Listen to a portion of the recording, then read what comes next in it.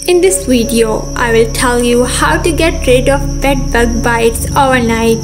Discovering that overnight you have been bitten by a treated bed bug can be very unsettling.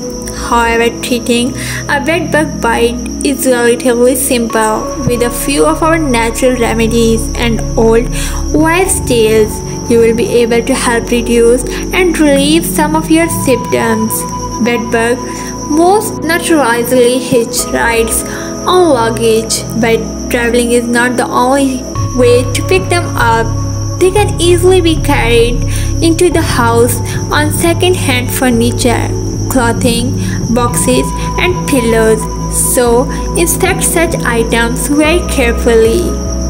Before I start the video, make sure to subscribe my YouTube channel for more informative content. So, the first ingredient that you will need for this remedy is cinnamon powder. One of the most common methods is the use of cinnamon. You must be wondering how this works, right? Well, it should be known that cinnamon does not kill the bed bugs directly. It acts as a repellent against the bugs since they cannot stand the strong aroma that cinnamon spice emits. That is why it believed to be one of the most effective ways to get rid of bed bugs. Add 1 by 2 tablespoons of cinnamon powder.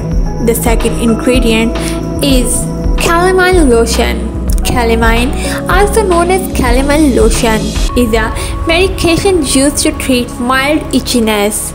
This includes from sunburn, insect bites, poison ivy, poison oak, or other mild skin conditions. It may also help dry out skin irritation. It is applied on the skin as a cream or lotion. Side effects may include skin irritation. Calamine lotion is ideal when it comes to the treatment of bedbug bites. It relieves itching and also helps to dry rashes and protect the skin. Add 2 tablespoons of calamine lotion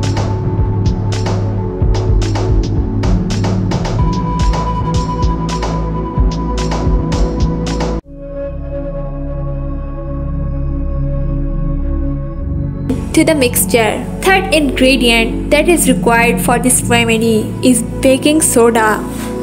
Baking soda is highly absorptive and it's often used in conjunction with other cleaning products such as a vinegar to scrub and thoroughly clean a surface. Baking soda is one of the most stinging compounds you will find. Not only is it safe for human consumption, it will not harm your skin when it comes in contact with it. When dealing with a bedbug invasion, many products use chemical pesticides that are toxic to humans and pets and can even burn your skin or eyes.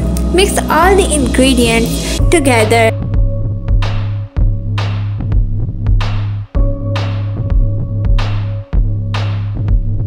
and apply it on your skin. Hope you liked this video. For more amazing content, like, share and subscribe to my YouTube channel. Thank you.